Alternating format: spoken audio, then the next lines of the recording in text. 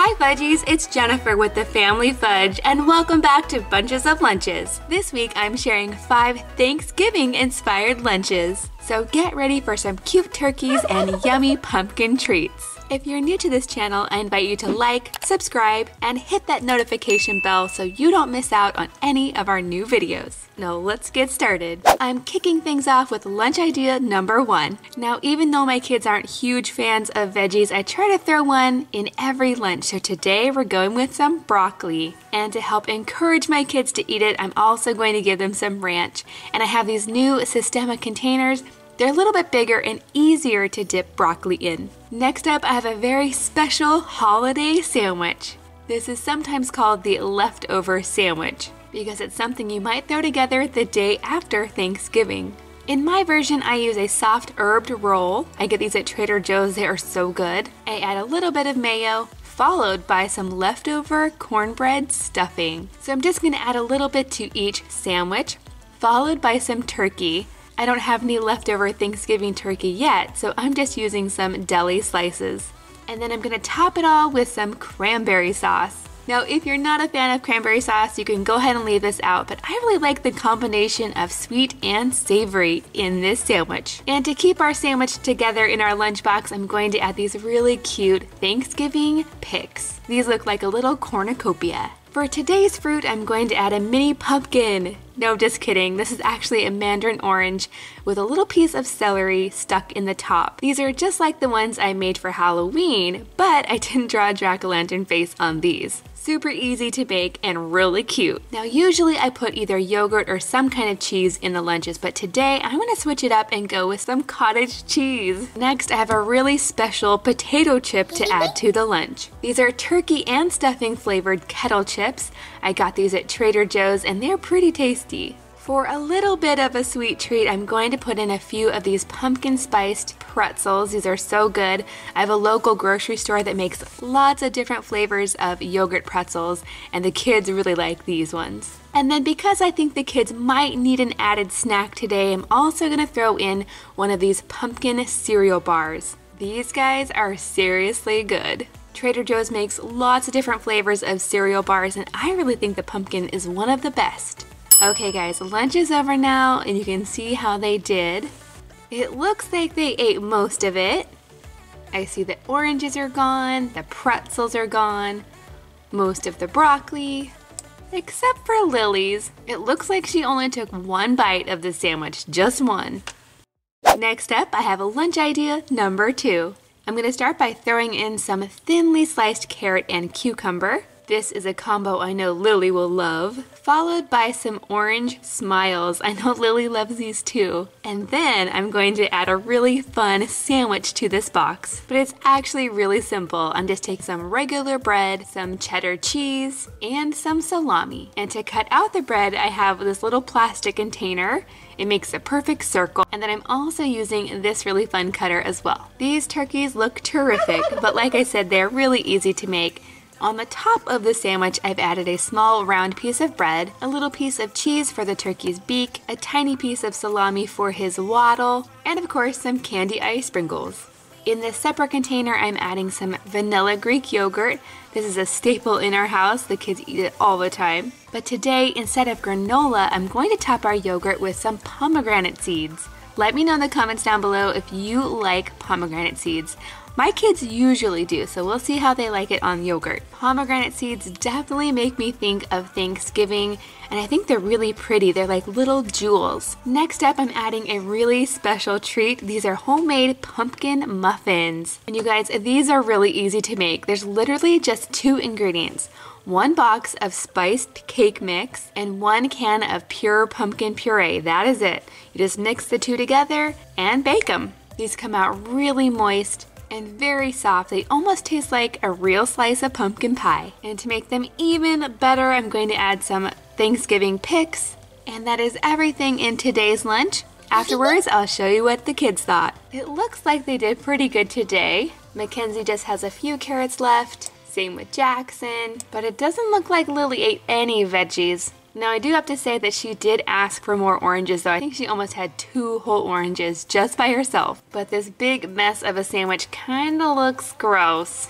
Moving right along to lunch idea number three. Today we're going with a hot lunch. I've started by heating up some mashed potatoes. And then to add to the mashed potatoes, I'm also going to heat up these turkey cranberry meatballs. The kids have never tried these before. I think they're a new thing at Trader Joe's. Now that everything is hot, I'm going to quickly get it into my preheated thermoses. I think the combo of mashed potatoes with turkey meatballs sounds really good. Hopefully the kids will agree. Next, I'm going to add a really special yogurt today.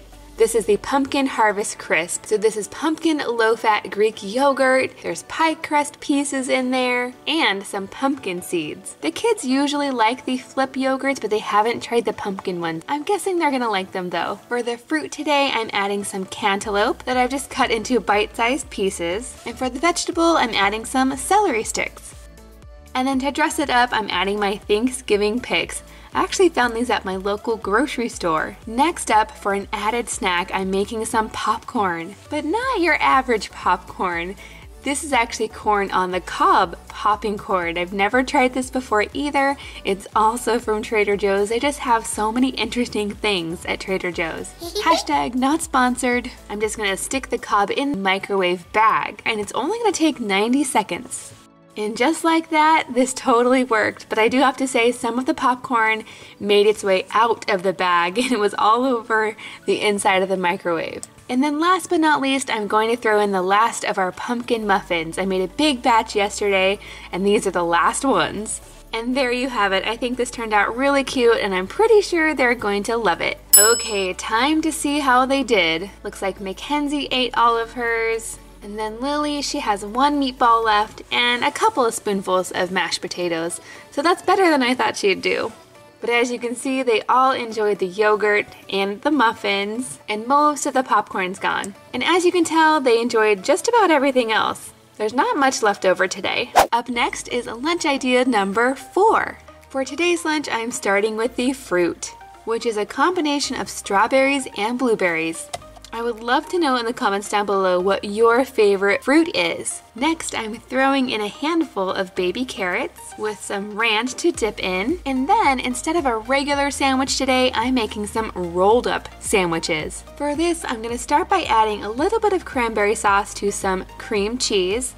And I'm gonna mix those together and I'm going to spread a thin layer all over my tortilla. Next, I'm adding a few slices of turkey, a few leaves of spinach, and a few pieces of Havarti cheese. Then I'm gonna roll it up as tightly as I can. Then I just slice them up and add them to the lunchbox. I do like to add some picks in there just to make sure these don't unravel. Next I'm throwing in a Babybel cheese and I've cut out a little T on the front for Thanksgiving. Then for an added snack today, I'm going to put a handful of these giant corn snacks. These remind me of a snack called corn nuts. Those are really popular when I was in school. You guys will have to let me know if you've ever had corn nuts and let me know if they're popular at your school. Next, I have a very special treat today. These are the maple leaf cookies from Trader Joe's and they are so good. They smell amazing. If you're a fan of maple, you will love these. And I'm just gonna go ahead and add one to each lunchbox. Now one more step before I get my lids on, I do want to take a picture for the Bunches of Lunches Facebook group. If you haven't joined already, you totally should. It's a really fun community where you can share your fun lunch creations or ask any lunch related questions you might have. What was your favorite part?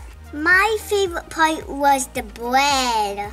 The rolled up sandwiches? Mm-hmm. Mm-hmm, those are tasty. It doesn't look like you really enjoy the little corn pieces though. The corn was kind of too hard for me. Yeah, it was pretty tough, but it looks like you enjoyed the fruit and the veggies.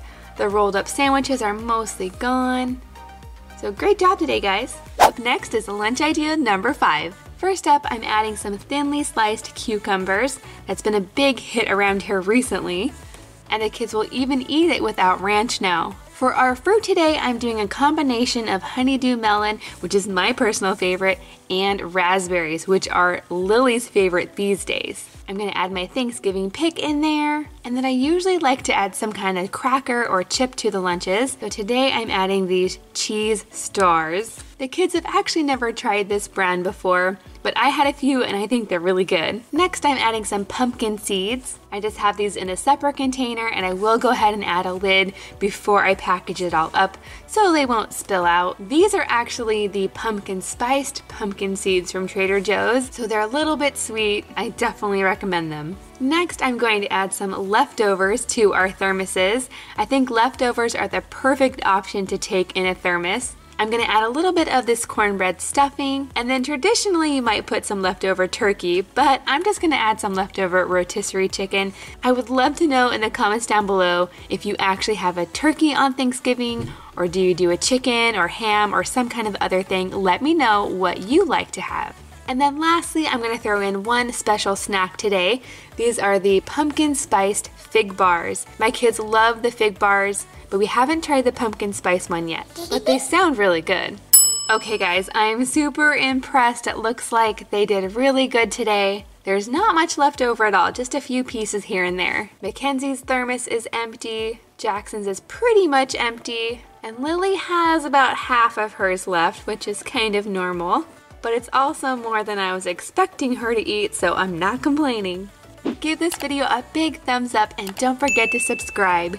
Thanks for watching and we'll see you next time. Did you find a Luna Lunchbox in today's video? If you did, let us know in the comments down below where you found her and use the hashtag Luna Lunchbox.